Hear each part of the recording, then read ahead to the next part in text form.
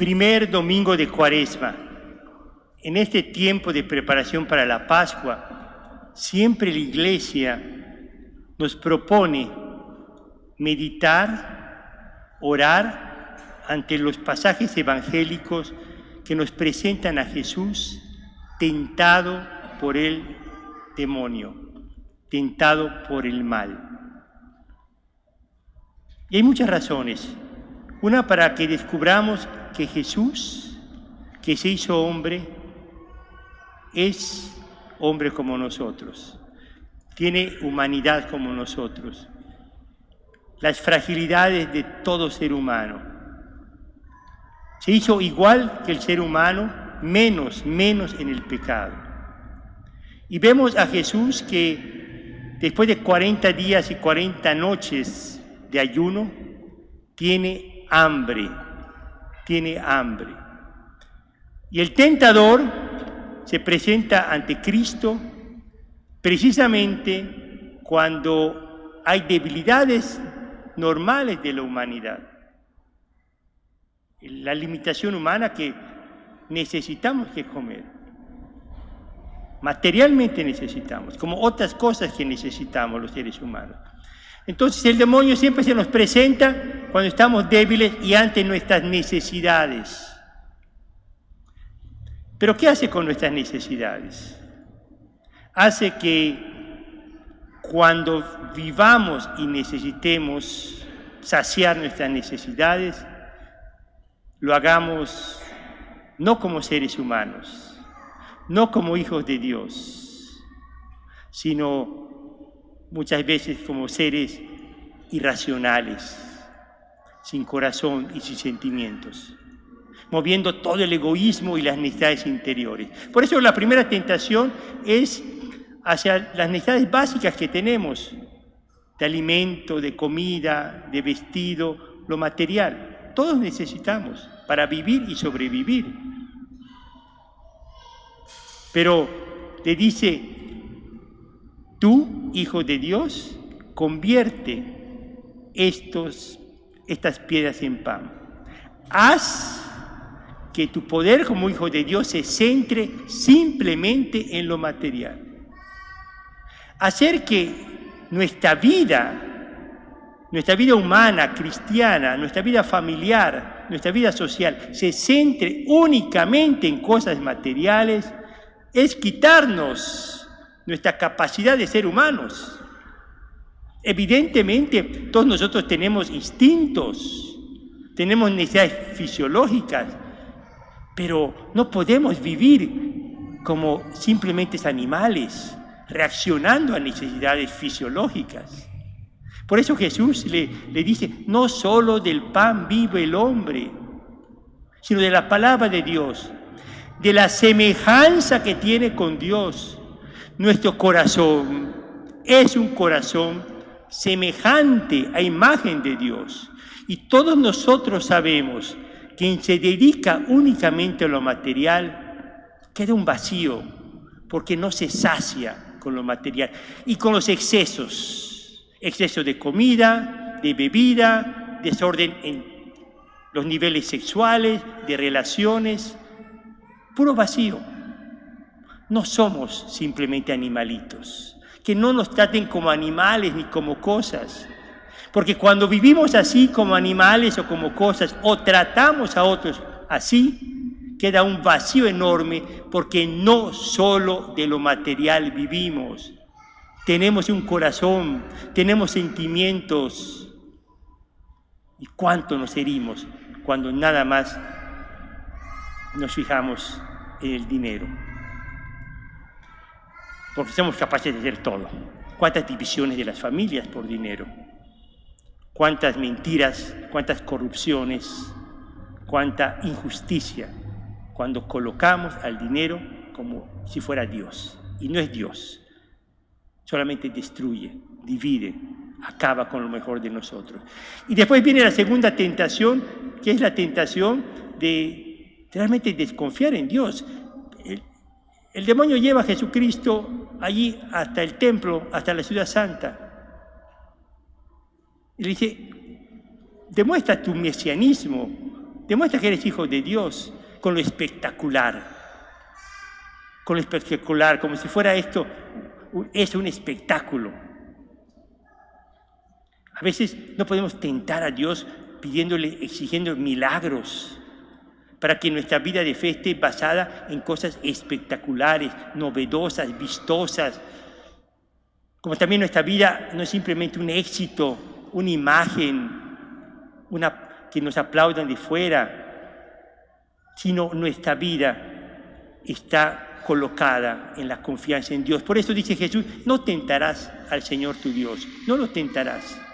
Nosotros confiamos en Dios, no necesitamos de muestras espectaculares o pruebas espectaculares para crecer en la fe, para crecer en el amor, porque confiamos en Él y vemos a Dios en todas partes en todas situaciones.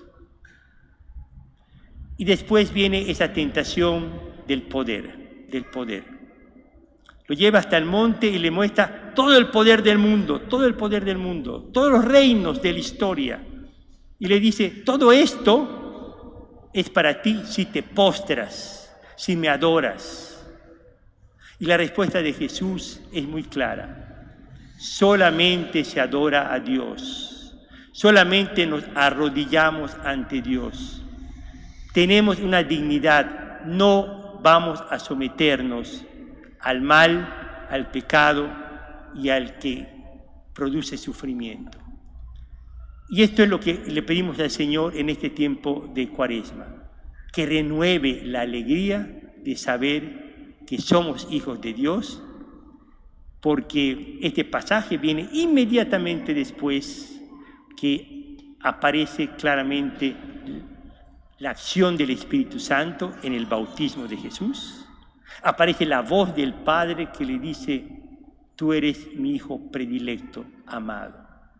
Frente a las tentaciones, nunca olvidemos la acción del Espíritu Santo, la fortaleza que nos da el Espíritu Santo. Nunca olvidemos la voz amorosa del Padre, tú eres mi Hijo predilecto. Y si a veces nos olvidamos de ello, no olvidemos la mirada y la voz de María nuestra Madre en los momentos de tentación, acudir a María es el camino más directo, más rápido, para que ella nos recuerde cómo Jesús nos ha redimido, cómo el Padre nos ama, cómo el Espíritu Santo nos fortalece. María es el camino directo cuando nos, sentimos débiles. Porque María nos va, nos va a recordar que las tentaciones están para vencerse, para vencerse para tener pruebas superadas. La identidad de un cristiano es que cuando se descubre que con la fuerza de Dios, con la fuerza de la oración, con la ayuda de todos los sacramentos que nos, presenta la iglesia, cuando evitando las ocasiones de pecado, evitando las ocasiones de pecado, las circunstancias de pecado, vencemos. Somos vencedores. La identidad cristiana se forja ahí. Y hoy necesitamos que nuestros niños, nuestros jóvenes y nosotros mismos sepamos vencer al mal con el bien, a la corrupción con la honestidad, al alejamiento de Dios con la cercanía a Dios, la indiferencia ante los males de nuestros hermanos más necesitados con la sensibilidad que nace del corazón de un hijo de Dios. Las tentaciones están para vencerse. Las pruebas son para que sean probadas, somos probados y probamos que sí podemos vencer con Dios. Pero eso sí, no pienses que lo vas a hacer solo. Necesitamos a Dios, necesitamos de la iglesia, de los sacramentos, de la oración, necesitamos de nuestra familia, necesitamos de María. Juntos vencemos, nunca solos siempre unidos como familia de Dios. Y nunca olvidemos también que todas las cosas que escuchemos, todos los consejos que vengan y que produzcan división, vienen directamente del espíritu divisor. La palabra demonio en griego significa el que divide, el que separa. ¿Cuántas veces me ha tocado hoy en la mañana precisamente antes de iniciar este encuentro con catequistas, pero me lo encuentro todos los días, que vienen parejas pidiendo, pedir por ellos porque están en momentos de crisis, de división.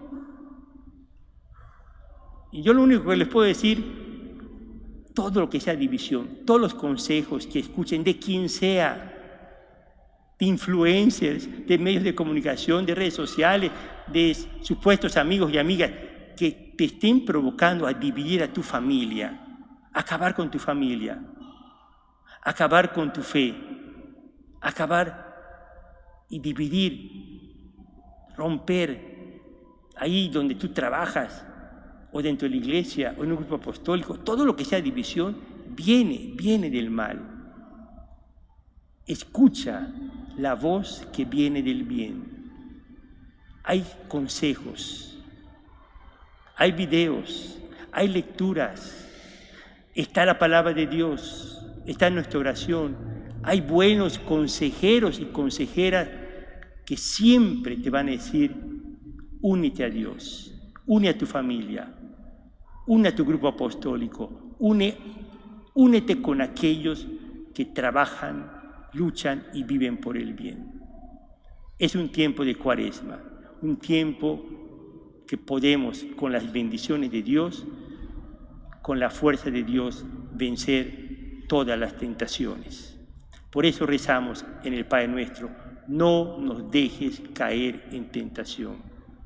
El Padre jamás nos dejará caer en tentación, pero acudamos a Él con humildad con sencillez y al mismo tiempo totalmente confiados en su fortaleza, en su gracia y en todo aquello que nos dio para evitar las ocasiones de pecado. Con María, todos discípulos misioneros de Jesucristo.